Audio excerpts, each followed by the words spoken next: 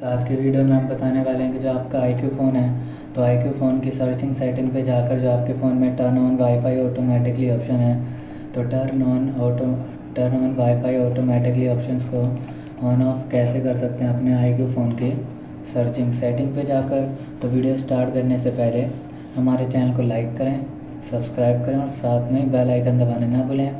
तो video start कर लेते हैं। तो आप देख सकते हैं कि जो फ़ोन के आइकन्स हैं, आपके फ़ोन में कुछ इस तरीके से शो हो रहे होंगे।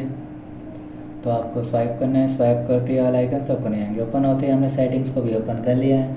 ओपन करते ही जो भी आपके फ़ोन में अभी आपके फ़ोन में turn on wifi automatically option से तो ऑन ऑफ़ कैसे करेंगे? तो सिंपली सेटिंग शो हो रही है तो आपको सर्च करना है।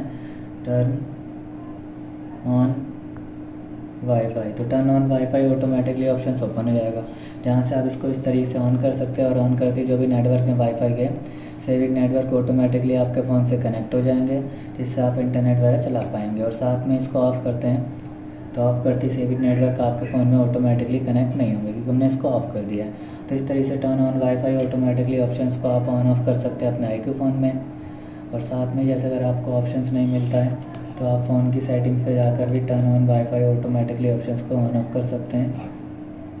जैसे अगर आपको ऑप्शंस नहीं मिलता है तो आप स्वाइप करते हैं स्वाइप करते ही सेटिंग्स पे जाते हैं। क्लिक करते ही फ़ोन की सेटिंग्स भी ओपन हो जाती है।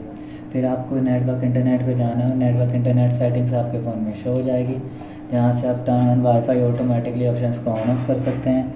वाईफाई को ओपन करते हैं तो नेटवर्क को पर पैनल्स पे जाते हैं और यहाँ से इसको तरीके ऑन कर सकते हैं। यहाँ से ऑन ऑफ़ कर सकते हैं ऑन करते हैं, इसका नेटवर्क जो सेविंग नेटवर्क आप इसको ऑटोमेटिकली कनेक्ट कर सकते हैं। ऑफ़ करते हैं तो इसका यूज़ नहीं कर पाएँगे। तो इस तरीके से टर्न ऑन वाईफाई ऑटोमेटिकली अपने को ऑन ऑफ़ करता है। तो तो वीडियो को लाइक सब्सक्राइब बेल आइकन दबाना ना भूलें। थैंक यू नेक्स्ट वीडियो जल्दी